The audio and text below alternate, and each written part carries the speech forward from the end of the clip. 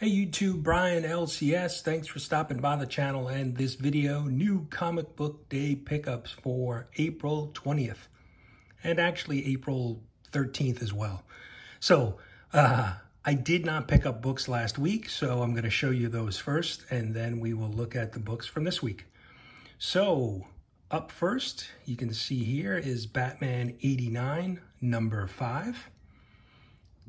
Um, I have not read this story, and I know this has been um, quite some time since we've seen a new issue. Uh, issue four, I, am pretty sure it came out two or maybe two months ago. Then up next, we have another Batman, Batman Catwoman number 11. And up next, Nocterra number 9. Captain Carter number two. Darth Vader 22. Miles Morales number 37.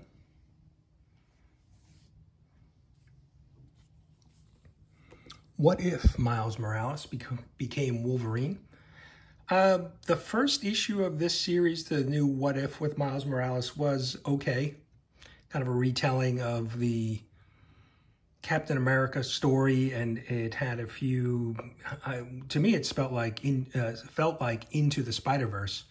So I, I, was considering dropping it, but I went ahead and picked it up this week because it's Wolverine. So we'll see.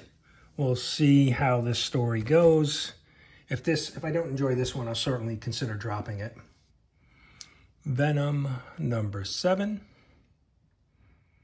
And that is the last book from last week. And now we'll move on to this week's book.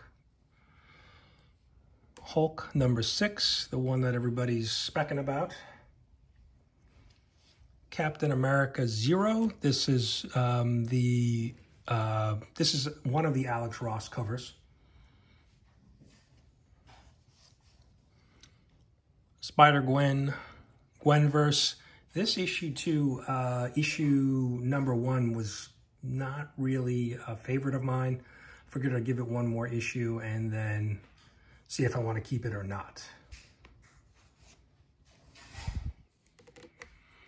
We Live, number two, Age of the Palladions. Um, jumped in on this. You know, I did not read the first um, series. Um, I really heard great things. I read the Free Comic Book Day version of the first series, which was really good. This um, this storyline, the black and white issue one, was just okay for me because I, I not having the background of the original series, I think detracted from this second series. Nice House on the Lake 8. And then last but not least is Refrigerator Full of Heads. And there was another cover um, that I was looking for. And this is the issue six. This is the last of this series. Um, there was another cover with um, one of the shark heads on it that I was really looking for. A really great cover.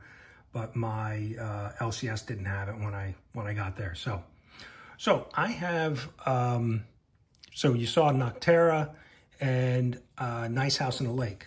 Uh, so I have a question for you guys. I haven't read either of these, and I've heard great things. I do want to read them, but if I only had one of those series to start with, which one would it be? So let me know down in the comments. Should I start with Nice House on the Lake or Nocterra? Now, I'm not a big, big, big horror fan, so um, I believe Nice House on the Lake and I haven't really read much even about, you know, the kind of overview of the story is more kind of a, you know, I know it's set in a house and, but um, with that in mind, let me know. Let me know what your recommendation is. Which one should I start with? Uh, nice House in the Lake or Nocterra? Uh, and that's it, guys. I hope you had a great uh, new comic book day. And we will see you next week.